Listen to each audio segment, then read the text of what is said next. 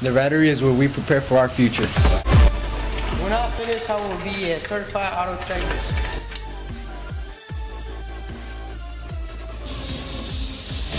When I finish, I will be a certified collision repair technician.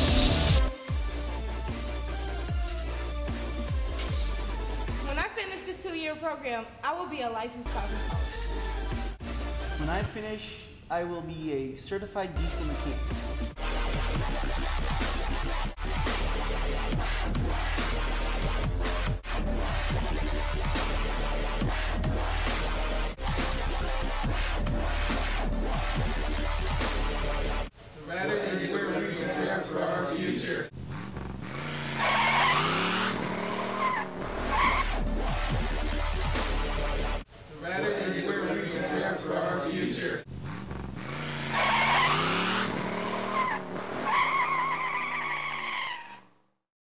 Hey Nation, Miss Simpson here to tell you guys about some exciting things we have coming up. First things first, I'm going to talk to all grade levels. So, all grade levels, listen up. February 16th, we're having a dance. Mark your calendars, you'll want to be there. Now, seniors, seniors only. Sorry, underclassmen, but these guys are kind of special. All right, first things first, March 8th, field day. It's basically like a skip day. You're going to want to be there. It's at school, but it's outside and you don't have to go to class all day long. So, do what you got to do. Be here, get your grades up, and let's have fun on March 8th. April 20th, your senior breakfast. Okay. 26th, the lock in. So, you got to make sure your attendance is on point, your grades are on point, and let's have fun at the lock in. Next thing, May 11th. This is the thing I'm most excited about because it's basically like another skip day. We're going to Six Flags. Okay, so get excited. I'll give you guys some more details on that later. And the last thing I have for you so far is May 18th, your senior sunset and a movie night. So mark all these things down on your calendars, keep your grades up, be here, keep your attendance up, and let's have fun this semester, okay, guys? Holding Up the Universe by Jennifer Niven.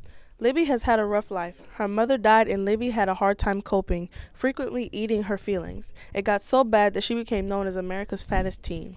Now, Libby is working to put all of that behind her. She has had a chance to start over. She is going to high school and she vows to live her life. But there's an incident at. Read the book to find out more.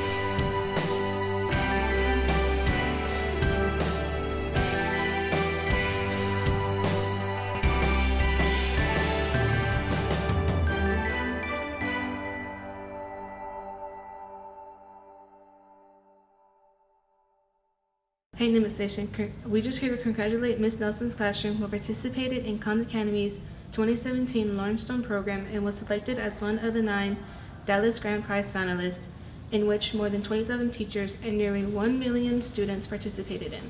Also, they won a $500 cash prize. Calling all DECA members, all freshman DECA as well, please meet in room 132 for a special conference Tuesday, January 23rd during third period.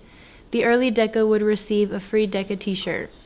The Student Council of Nimitz chose the Brighter Tomorrow's domestic violence shelter for the council's Do Good December project in conjunction with the Chick-fil-A Leader Academy. Rosio Gonzalez, historian on right side, and Jose Bustamante, senator on left, present the shelter's representative with 25 personal hygiene bags and a box of additional sun-dry items. Many people arrive at the shelter with only the clothes they are wearing. Please stand for the pledge. Place your right hand over your heart. Ready? Begin. I pledge allegiance to the flag of the United States of America and to the republic for which it stands, one nation, under God, indivisible, with liberty and justice for all. honor the Texas flag. I pledge allegiance to the Texas, one state under God, one and indivisible,